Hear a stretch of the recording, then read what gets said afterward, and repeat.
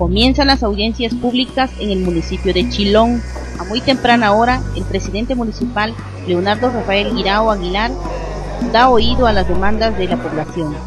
Para ello se instaló la Mesa Ciudadana, la cual tiene como objetivo apoyar las demandas más añejas que ha venido solicitando la población. Por su parte, Leonardo Rafael Guirao atendió a líderes de diversos poblados de Chilón. En Palacio Municipal el alcalde Guirao estará al pendiente para que sus demandas de la población se realicen con tiempo y se dé un cambio como compromiso de campaña y la confianza que le brindó para que gobierne su localidad. Desde el municipio de Chilón, para Radar Informativo, Alma López.